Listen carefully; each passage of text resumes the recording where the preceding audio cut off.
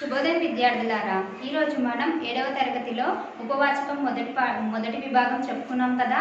అద్భుతమైన సెలవులో ఇప్పుడు రెండవ విభాగం చెప్పుకుందాం. మీ దగ్గర పాఠ్య పుస్తకాలు ఉంటే పేజీ నెంబర్ నూట ముప్పై ఒకటి తీయండి విద్యార్థులారా. ఇక్కడ వచ్చేసి ఏమి ఇచ్చారో చూడండి. మీకు వృద్ధా వృద్ధాశ్రమంలో ఉన్నది ఉన్నది పెద్ద ఆవరణ కదా దాని పక్కనే ఆట స్థలం ఉన్నది. అక్కడ అక్కడ ఆలోచన అందరికీ నచ్చింది. సాయంత్రం నితిన్ తన చెల్లెళ్ళు తమన్న వీణలతో కలిసి రాగానే ఏ నాటకం వేయాలని చర్చించుకున్నారు చర్చించడం మొదలుపెట్టారు. నితిన్ తెచ్చిన పుస్తకాల నుండి పుస్తకాల నుంచి వెతికి గ గుస్వం గుస్వం అన్న నాటకాన్ని హాస్య నాటకాన్ని ప్రదర్శించాలని ఎంపిక చేసుకున్నారనమాట అయితే ఇక్కడ ఏమైంది? ఇంకా ఆ వృద్ధుల కోసం ఏదో ఒకటి చేద్దామని వాళ్ళు అనుకున్నారు. ఏదో ఒకటి చేద్దామని అనుకున్నప్పుడు వృద్ధాశ్రమంలో ఒక నాటకం ప్రదర్శిద్దాము. అక్కడ పెద్ద చాలా పెద్ద ఆవరణ ఉంది. అక్కడ ఆవరణలో ఒక నాటకం ప్రదర్శించాలనుకున్నారనమాట అయితే అక్కడ వచ్చేసి ఈ ఆలోచన అందరికీ నచ్చింది. ఆవరణ పెద్దగా ఉంది కాబట్టి ఈ ప్రదర్శన అక్కడ చేద్దామంటే వాళ్ళందరికీ నచ్చింది. నితిన్ తన చెల్లెళ్ళని వీణాన్ని తమన్నాన్ని తీసుకొని వచ్చిండనమాట. దాంతో పాటు కొన్ని పుస్తకాలు కూడా తెచ్చిండు. ఆ పుస్తకాలలో గుస్వం అనే నాటకము హాస్య నాటకం చాలా బాగా నచ్చిందనమాట. తర్వాత ఏం జరిగిందో చూద్దాం. సుశీల్ సుశీల్ ఆ రోజు రాత్రి మరుసటి రోజు పగలంతా కదలకుండా కూర్చొని నాటకానికి నాటకానికి సంభాషణలు రాశాడు.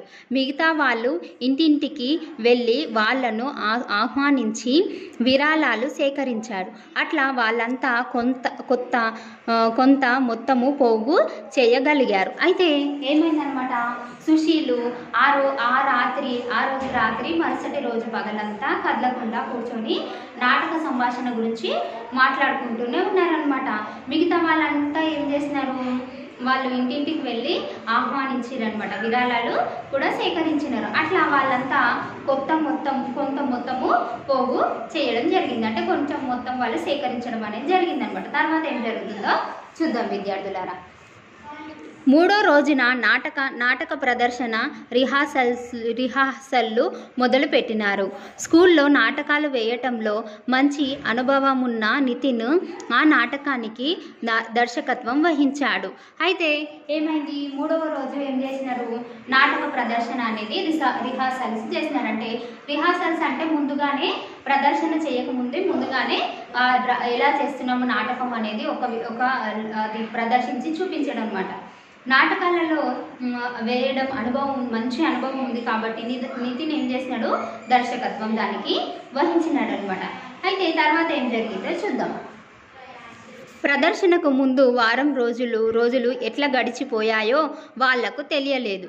ప్రతిరోజు కనీసం మూడు గంటలు రిహార్సల్ రిహార్సల్స్ చేసేవాళ్ళు.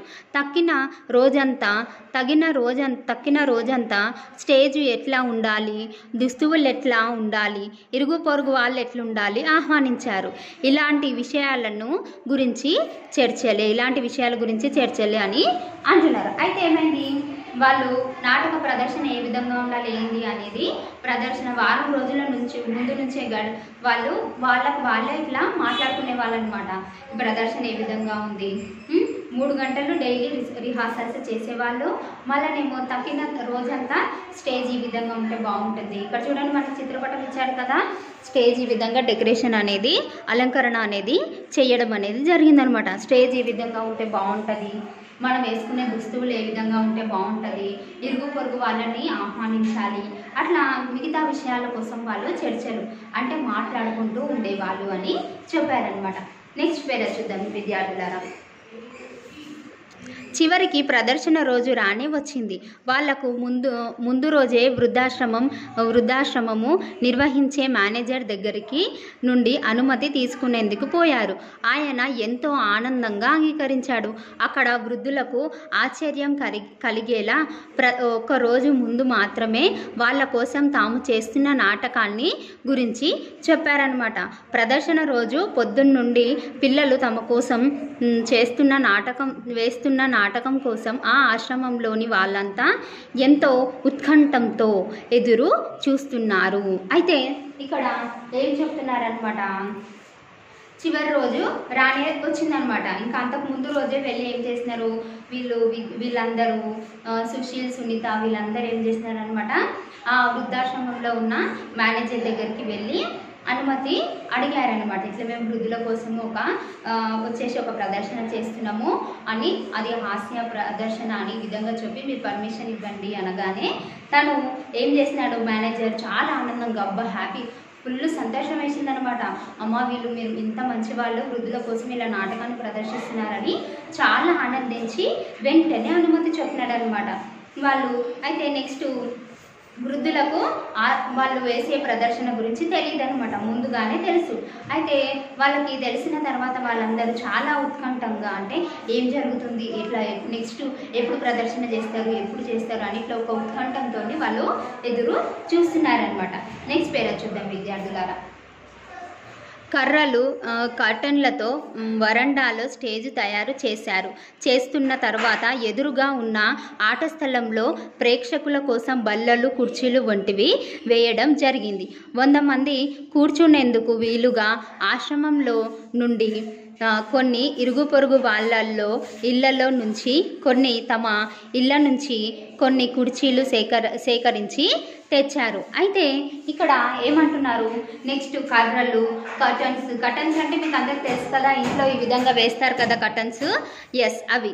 కర్టన్స్ కర్రలు కటన్స్ ఇవన్నీ వాళ్ళు సిద్ధం చేసుకున్నారనమాట అవి ఆట స్థలంలో ప్రేక్షకుడు కూర్చోవడానికి కూడా బల్లలు అంటే కుర్చీలు చైర్లు ఇవన్నీ కూడా వాళ్ళు వేయడం జరిగింది. అవి పది మంది కూర్చునేందుకు వీలుగా ఆశ్రమం నుండి కొన్ని కుర్చీలను మళ్ళా ఇరుగు పొరుగు వాళ్ళ నుంచి అంటే పక్కన ఇల్లు- ఇల్లు ఉంటారు కదా వాళ్ళ నుంచి కొన్ని తమ ఇళ్ళ నుంచి అంటే సుశీల్ సునీత వాళ్ళ ఇళ్ళ నుంచి కొన్ని కుర్చీలను సేకరించి తీసుకొని వచ్చినారనమాట అయితే నెక్స్ట్ పేరు ఏంటో చూద్దాం విద్యార్థులారా ప్రదర్శన ఆన బ్రహ్మాండంగా జరిగింది. పిల్లలు అద్భుతంగా నటించారని అందరూ అభినందించారు. ఈ నాటకంలో నాటకంలోని హాస్య సన్నివేశాల్లో అందరూ విరగబడి నవ్వుతూ ఆనందించారు. అయితే ఏమైందనమాట? ప్రదర్శన మొదలు అయ్యింది. ప్రదర్శన చాలా బ్రహ్మాండంగా జరిగిందని అది అద్భుతంగా పిల్లలందరూ బాగా నటించారని ఆ నాటకంలో హాస్య సన్నివేశాలు అంటే జోకుకు సంబంధించిన వచ్చినప్పుడు అందరూ విరగబడి విరగబడి విరగబడి నవ్వారని చెప్తున్నారనమాట నెక్స్ట్ చూద్దాం విద్యార్థులరా.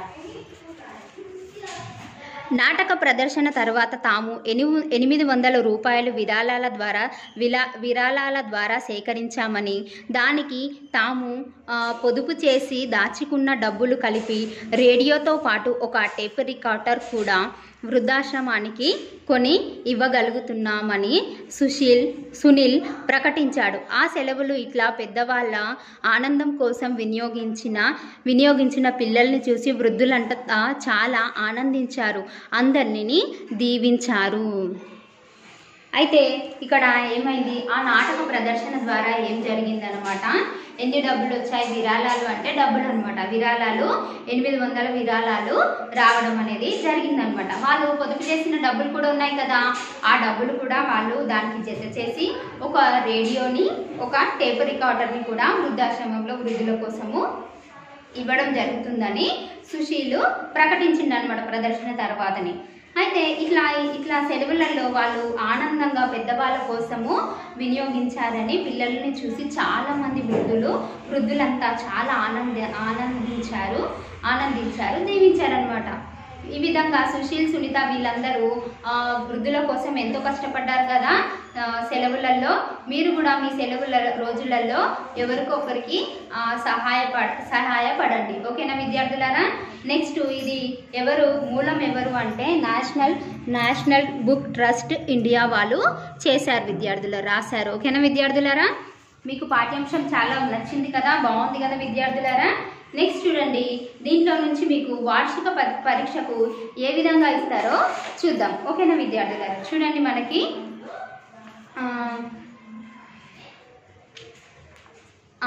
ఇక్కడ చూడండి. కింద పేరాను చదవండి. దాని దాని కింద ఇవ్వబడిన ప్రశ్నలకు జవాబులు రాయండి. అయితే సెలవుల్లో పిల్లలు వృద్ధాశ్రమంలోని వృద్ధుల కోసం ఒక నాటక ప్రదర్శన చేయాలనుకున్నారు అనుకున్నారు.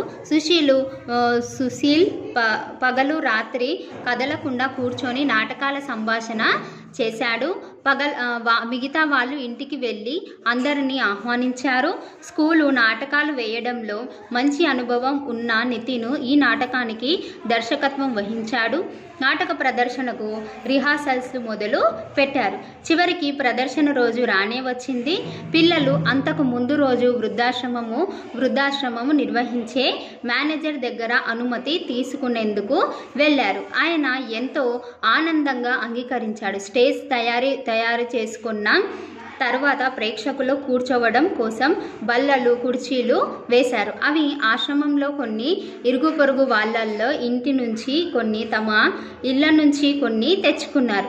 ప్రదర్శన బ్రహ్మాండంగా జరిగింది. పిల్లలు తాము సేకరించిన ఎనిమిది వందల రూపాయలు విరాళాలతో పాటు తాము పొదుపు చేసిన చేసి దాచుకున్న డబ్బులు కలిపి రేడియోతో పాటు ఒక టేప్ రికార్డర్ని కొని వృద్ధాశ్రమానికి ఇచ్చారు. ఈ ఆశ్రమం ఆ ఆశ్రమంలోని పెద్ద వృద్ధులంతా పిల్లలను అభినందించారు. అందరినీ దీవించారు. ప్రశ్నలు ఏ విధంగా ఇచ్చారు? ఫస్ట్ మనకి ఇక్కడ ఏమి ఇచ్చారు పేరాలు అంటే వృద్ధాశ్రమంలో వృద్ధుల కోసం వీళ్ళు ఒక నాటకం వేద్దాం అనుకున్నారు కదా? సుశీల్ ఏం చేసిందనమాట? పగలు రాత్రి కూడా కూర్చొని నాటక సంభాషణ ఏ విధంగా మాట్లాడాలి ఏంటి అనేవి చేయడం జరిగింది. మిగతా వాళ్ళేమో అందరి ఇండ్లకు వెళ్ళేసి అందరిని ఆహ్వానించారు. స్కూల్లో నాటకాలు వేయడం అనుభవం ఉంది కాబట్టి నితిన్ దీనికి దర్శకత్వం వహించాడు. నాటక ప్రదర్శన రిహార్సల్స్ మొదలు పెట్టారు చివరి రోజు రాని రాగానే వాళ్ళు ముందు వృద్ధాశ్రమంలో మేనేజర్ని వెళ్ళి కనుక్కొని పర్మిషన్ వాళ్ళు అనుమతి తీసుకోవడం జరిగింది. తను ఆనందంగా అంగీకరించాడు స్టేజ్ తయారీకి కావాల్సినది కావాల్సిన వస్తువులని ప్రేక్షకులు కూర్చోవడా కూర్చోవడానికి బల్లలు కుర్చీలు ఇరుగు పొరుగు వాళ్ళని మళ్ళీ తమ ఇండ్ల నుంచి వృద్ధాశ్రమంలో నుంచి పది కుర్చీలను ఈ విధంగా మొత్తం వాళ్ళు కుర్చీలు ఇవన్నీ తేవడం అనేది జరిగింది. తర్వాత మొత్తం ప్రదర్శన పూర్తి అయిపోయిన తర్వాత వాళ్ళకి సేకరించిన డబ్బు ఎంతగా వచ్చిందంటే ఎనిమిది వందల రూపాయలు విరాళాలు వచ్చాయి. వచ్చిన తర్వాత దానికి వాళ్ళు సే వాళ్ళు పొదుపు చేసిన డబ్బును కూడా కలిపితే వాళ్ళకి రేడియో వృద్ధులకి రేడియో టీవీని బహుమతిగా ఇవ్వడం జరిగిందనమాట. అయితే మిగతా అందరు వృద్ధాశ్రమంలో అందరు వృద్ధులు చూసి పిల్లల్ని ఆనందించి దీవించారనమాట అయితే మొదటి ప్రశ్న ఏ విధంగా అడిగారో చూడండి విద్యార్థులారా. పిల్లలు ఎవరి కోసం నాటకాలు ప్రదర్శించారు? ఎవరి కోసం నాటకాలు ప్రదర్శించారు? వృద్ధుల కోసం కదా? ఎస్ వృద్ధుల కోసం. నితిను నాటక ప్రదర్శన వహించడానికి గల కారణం ఏమిటి? ఏమిటి? స్కూల్లో నాటకాలు వేయడం అనుభవం ఉంది కదా? వీళ్ళు వృద్ధులకు కూడా సహాయం చే దర్శకత్వం ఎందుకు వహించాడంటే తను స్కూల్లో నాటకాలు వేసే అనుభవం ఉంది కాబట్టి తను దర్శకత్వం వహించాడు. నెక్స్ట్ పిల్లలు పిల్లలు ప్రేక్షకుల కొరకు కూర్చునే కుర్చీలు ఎట్లా సేకరించారు? కొన్ని ఆశ్రమం నుంచి కొన్ని ఇరుగు పొరుగు వాళ్ళ నుంచి తమ ఇళ్ళ నుంచి కొన్ని సేకరించి తెచ్చారు. పిల్లలు నాటక ప్రదర్శనకు ఎవరు అనుమతి ఇచ్చారు? ఎవరిచ్చారు? వృద్ధాశ్రమంలో ఉన్న మేనేజర్ దగ్గరికి వెళ్ళి అనుమతి తీసుకున్నారు కదా? ఎస్ నాటక ప్రదర్శన ద్వారా చివర పిల్లలు ఏం ఏం పొందారు? వృద్ధుల అభినందనలు దీవెన దీవెనలు పొందడం అనేది జరిగిందనమాట. నెక్స్ట్ పేరా చూడండి విద్యార్థులారా. కింద పేరాను చదివి ప్రశ్నలకు జవాబులు రాయండి. ఆశ్రమంలో ఉన్న పిల్ల ఉన్న వృద్ధులు తమ గురించి పిల్ల చిన్నపిల్లలు తీసుకున్న శ్రద్ధకు వాళ్ళ ముఖాలలో సంతోషం కనిపించింది. పిల్లలకు వాళ్ళందరూ కృతజ్ఞతలు చెప్పారు. వాళ్ళు ముగ్గురు అక్కడే వాళ్ళతో పాటు కూర్చొని ముచ్చట్లాడారు. వాళ్ళల్లో కొంతమంది నా మాట్లాడకుండా కూర్చొని ఉన్నారు. మరి కొంతమంది తమ తమ తమ బాధలను దాచుకునేందుకు వాళ్ళతో మాట్లాడుతూ పిల్లలు పిల్లలు లెక్కు లెక్ లెక్కడున్నారో ఎక్కడ చదువుకుంటున్నారో అని అడిగి తెలుసుకున్నారు. చివరికి ఆశ్రమంలో భోజనానికి ఉండి పొమ్మని వాళ్ళు పిల్లల్ని బలవంత పెట్టారు. కానీ పిల్లలు మా కోసం అమ్మ ఎదురు చూస్తుందని చెప్పారనమాట అయితే ఇక్కడ ఆశ్రమంలో వృద్ధులు చిన్నపిల్లల్ని తీసుకొని వృద్ధాశ్రమా వృద్ధులను చూడగానే వృద్ధులు వృద్ధుల శ్రద్ధను వాళ్ళ పిల్లల్ని చూడగానే వాళ్ళ ముఖాలలో ఆనందము కనిపించింది అనమాట అంటే మా కోసం వీళ్ళు వచ్చారు అని వాళ్ళందరికీ పిల్లలు పిల్లలకు వాళ్ళందరూ కృతజ్ఞత చెప్పారు. కృతజ్ఞత అంటే అభినందన తెలియజేశారనమాట. వాళ్ళు ముగ్గురు అక్కడ అక్కడే ఉన్నారు. ఇక్కడ కూర్చొని ముచ్చట్లాడుతూ ఉన్నారనమాట వృద్ధులతోని మాట్లాడుతూ ఉన్నారు. కొంతమంది మీరు ఏం చదువుకుంటున్నారు ఎక్కడ ఉంటారు అని పిల్లల్ని అడగడం జరిగిందనమాట. అయితే వాళ్ళతో మాట్లా వాళ్ళు మాట్లాడుతూ ఉన్నారు. చివరికి ఆశ్రమంలో వృద్ధులు ఏమన్నారనమాట మీరు భోజనం ఇక్కడే చేసి వెళ్ళండి అని బలవంతం పెట్టారు. అయితే ఆ వాళ్ళు పిల్లలు ఏమన్నారనమాట లేదు మా కోసం మా అమ్మ ఎదురు చూస్తూ ఉంటుంది అని చెప్పారనమాట. అయితే దీంట్లో ప్రశ్నలు ఏ విధంగా ఇచ్చారో చూడండి విద్యార్థులారా. వృద్ధులు ముఖాలలో సంతోషం ఎందుకు కనిపించింది? ఎందుకు కనిపించింది? చిన్నపిల్లలు తమ గురించి తీసుకున్న శ్రద్ధను చూసి చిన్నపిల్లలు వాళ్ళని కలవడానికి వచ్చారు కదా ఆ శ్రద్ధను చూసి వాళ్ళు సంతోషం అనేది కలిగిందనమాట. పిల్లలకు కృ కృతజ్ఞత చెప్పినది ఎవరు వృద్ధులు చెప్పారు కదా ఎందుకంటే వాళ్ళ కోసం వాళ్ళని చూడడానికి వచ్చారు కదా కాబట్టి వాళ్ళు కృతజ్ఞత వందనం తెలియజేశారు. పై పేరా శీర్షిక ఏం పెట్టవచ్చు? వృద్ధుల పట్ల గల శ్రద్ధ అని పెట్టవచ్చు కదా విద్యార్థులారా ఈ పేరాకి మనం శీర్షికని ఎస్ నెక్స్ట్ పిల్లలు ఆశ్రమంలో ఎందుకు ఉండము అని అన్నారు. ఎందుకన్నారు? వాళ్ళ అమ్మ ఎదురు చూస్తుంటుంది వాళ్ళ కోసం అని వాళ్ళు వెళ్దాము అని చెప్ వెళ్తాము అని చెప్పారు కదా? ఎస్ విద్యార్థులారా. నెక్స్ట్ వృద్ధుల వృద్ధులందరూ ఒక చోట ఉండే ఆశ్రమంని ఏమంటారు? ఏమంటారు వృద్ధులందరూ ఒక చోట ఉండే ఆశ్రమాన్ని? వృద్ధాశ్రమం అంటారు కదా విద్యార్థులారా? ఎస్ వృద్ధాశ్రమం అని అంటారు. ఇంతటితో మన అద్భుతమైన సెలవులు పూర్తి అయిపోయినాయి విద్యార్థులారా.